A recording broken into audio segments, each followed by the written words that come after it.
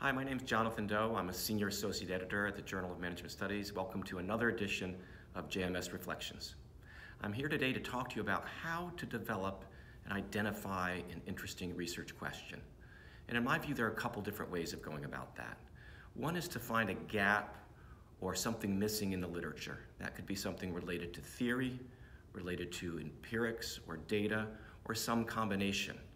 And that's something that most of us have been doing since our doctoral programs when we did literature reviews and tried to make a contribution to an existing stream of literature.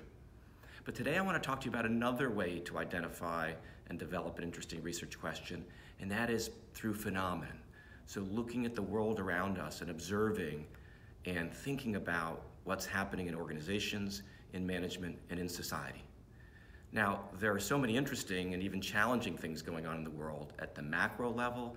If we think about what some have called the global grand challenges of climate change or immigration or data privacy, at the meso level, so things related to industry reconfiguration, changes in the way that organizations relate to each other and relate to society, or at the micro level, when we think about changes in the workplace itself, teams, leadership, different ways of doing business.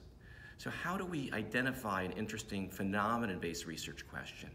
Well, I think as organizational theorists, we're naturally curious about the things that happen around us and we try to make sense of them.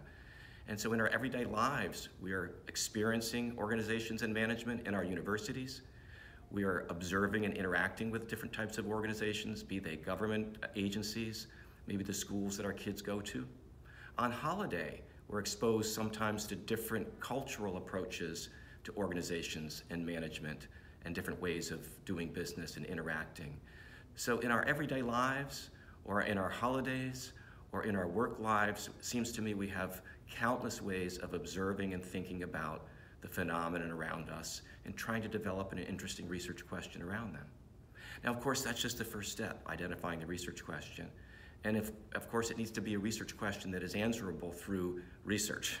So it may be that some research questions develop from phenomenon are just outside the scope of our ability to inform them through our research. But I'm quite convinced that by thinking and reflecting on the real world issues and challenges that we experience and observe, we can come up with some really exciting, novel, interesting, and compelling research questions. And so I would encourage you to think about the phenomenon, think about what you're seeing and learning uh, in your everyday lives and how that might relate to and contribute to your research. So again, I'm Jonathan Doh, a Senior Associate Editor at Journal of Management Studies, uh, and I hope you've enjoyed this session of JMS Reflections. Please look at our whole catalog. We've got others coming online uh, uh, on a whole range of topics. Thanks for watching and listening.